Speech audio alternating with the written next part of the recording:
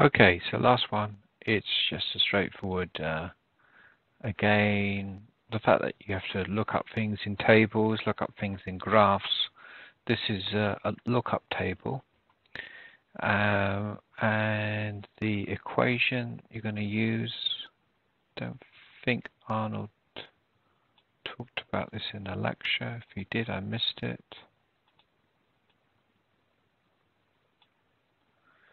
So first we're, if you go back to your tutorial sheet, you want the equation uh, because we are looking for the largest torque. So we're going to rearrange this equation here. And then the question is, what's this C1?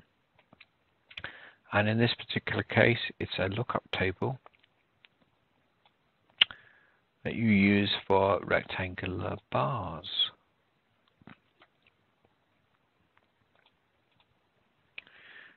And he's given you on your tutorial sheet this lookup table here. Okay. So armed with those two things, all we need is some simple rearrangement.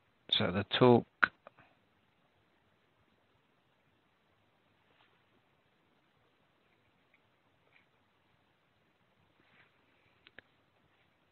is going to be the allowable stress, which will be the same as my maximum stress, C1 times A times B squared a has to be bigger than B.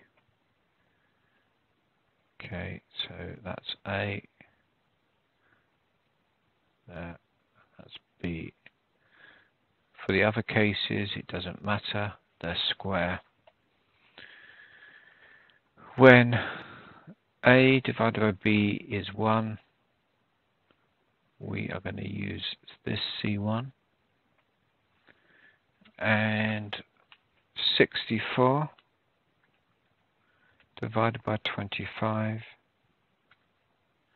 is 2.56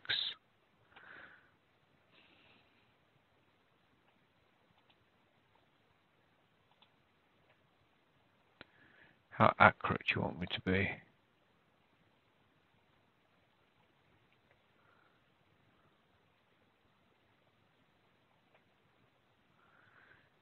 So it's going to be somewhere between here and here.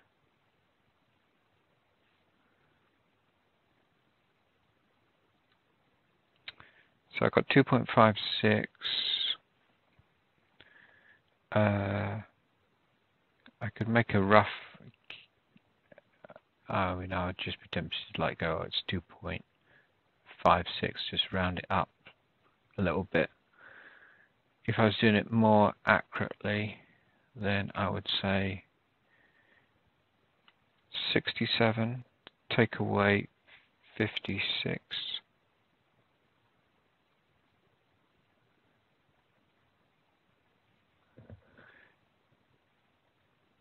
Divided by 5 and then times that by point six.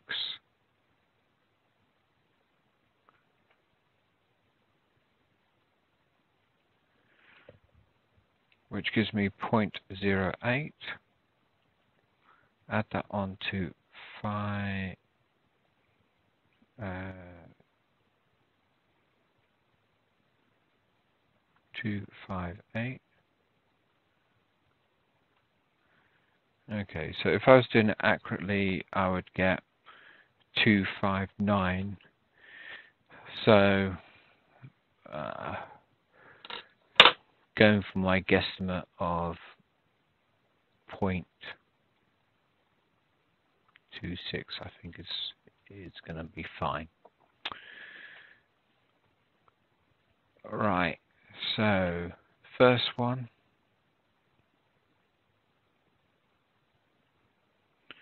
is 40 megapascals.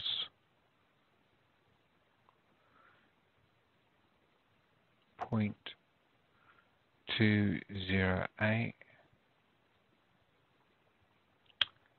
A and B are the same.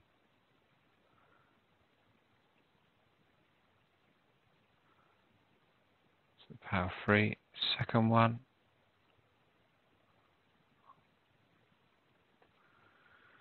Again, 40 megapascals.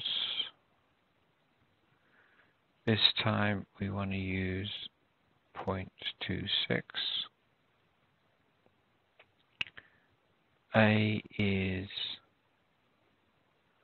64 times 10 to the minus 3 and B is 25. And then the last one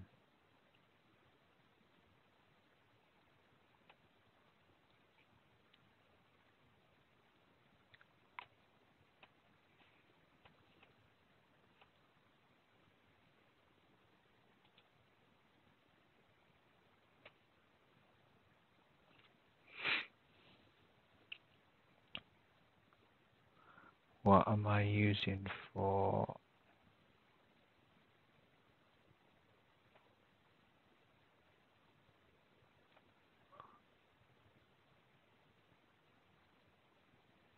for the equation there.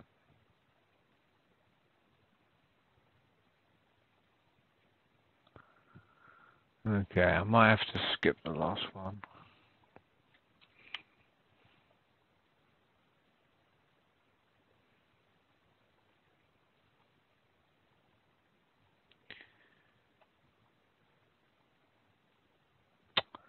I don't think you've been given the formula on your formula sheet.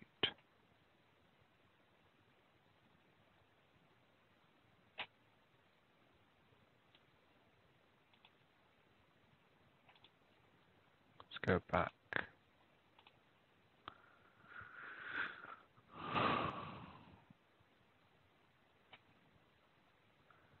That's for regular bars.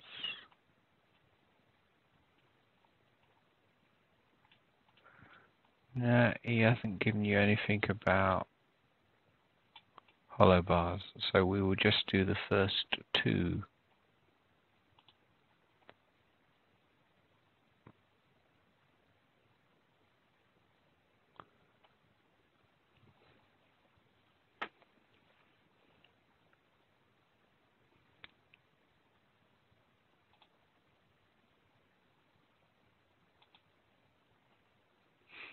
Unless I can find it in the book.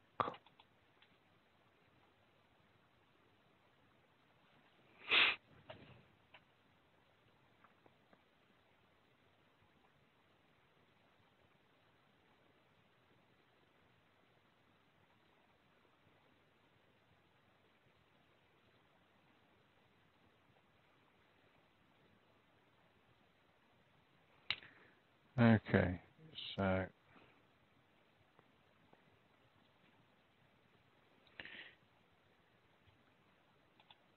is in the book there. I don't recall that being mentioned in the lecture. So for the last one,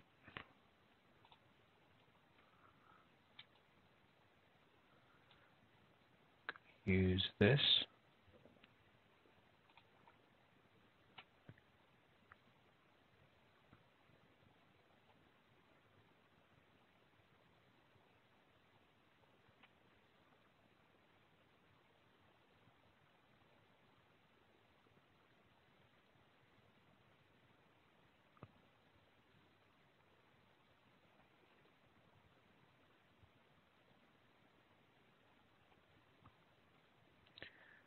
Where that funny symbol at the end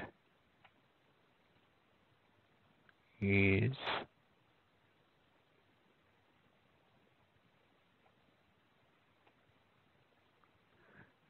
the average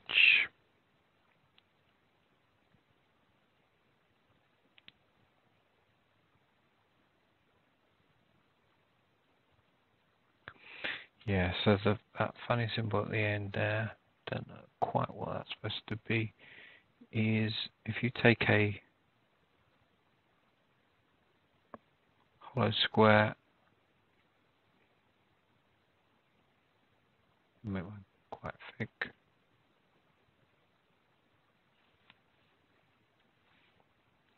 You want to know where the middle is.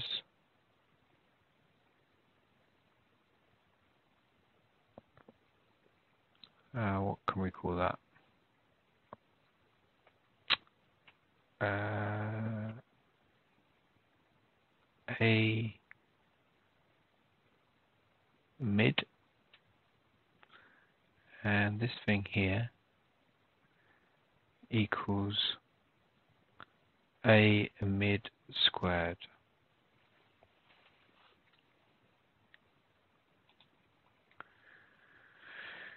Okay. Uh, right, so same sort of rearrangement.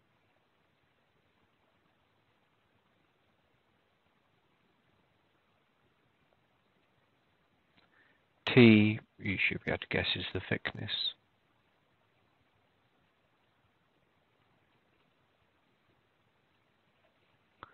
And what's the A mid going to be there? So half T gives you 3.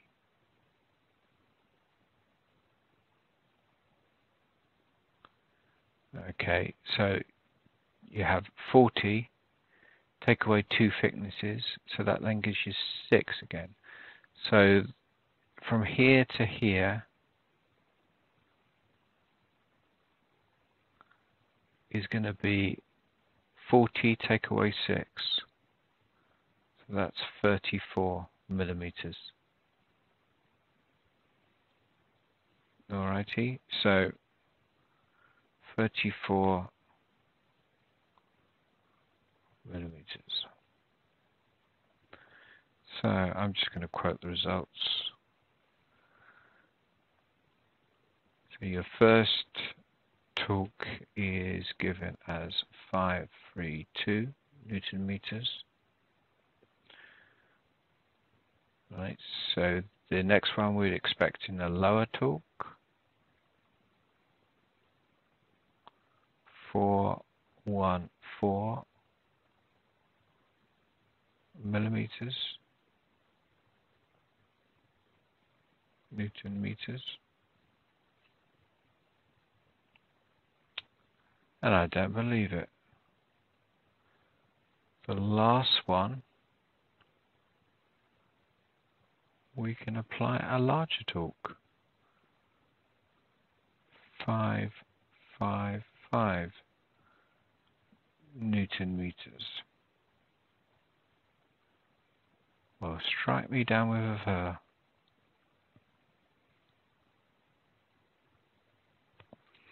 Okay, I'll leave Arnold to explain that to you.